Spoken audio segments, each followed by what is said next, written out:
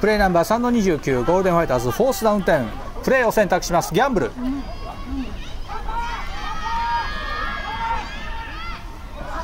パス不成功。ターゲット18番のパスでした。しかしパス不成功。4回目の攻撃失敗ですので攻守交代となります。ターンオーバー。